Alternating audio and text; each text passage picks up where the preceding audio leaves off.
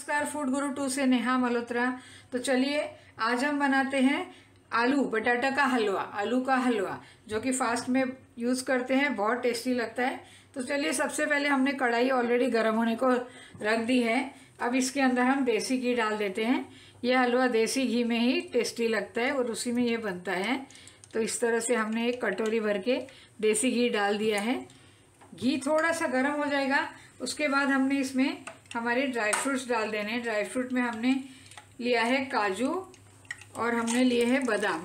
आप चाहे तो इसमें किशमिश वगैरह और भी जो चाय डाल सकते हैं। हमने सिर्फ़ ये दो यूज़ किए हैं।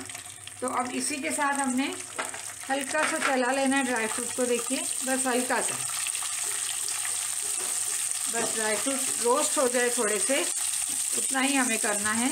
इसी के साथ हमने आधा किलो के आसपास ये आलू है, जिसे हमने बॉईल करके मैश करके रखा है, उसे भी डालना चालू कर देते हैं।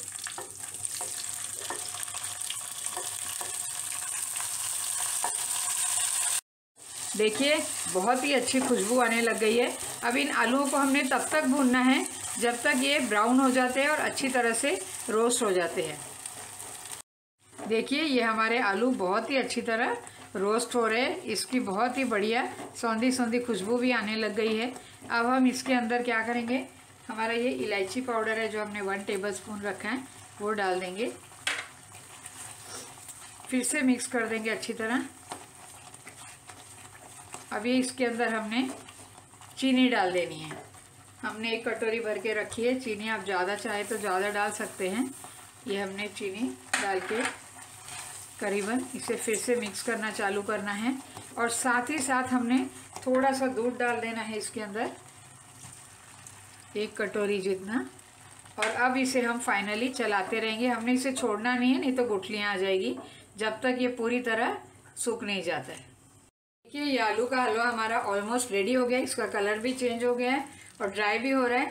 अभी स्टेज पे हमने गैस को बंद करके एक पाँच से सात मिनट इसे सेट होने देना है, उसके बाद सर्व करना है। हमारा आलू का हलवा बिल्कुल सेटल होकर रेडी हो गया है। अब हम इसे एक सर्विंग बाउल में निकाल लेते हैं। हमारा आलू का हलवा बिल्कुल हेल्दी और टेस्टी रेडी है। इसे इस तरह हम थोड़े से बादाम के साथ गार्निश कर देते हैं। देखिए, आपका फास्ट होता है जब भी तो ये एक बाउल आप लेंगे चाय या दूध से तो बहुत ही हेल्दी है और पेट भी भर जाता है। एक मील की तरह हो जाता है। ब्रेकफास्ट में आप ले सकते हैं। तो आपको मेरा वीडियो पसंद आए। तो अप्लाई कीजिए। चलिए, एक और हेल्दी रेसिपी के साथ आपको मिलती है। नेहा मल्होत्रा, धन्यवाद।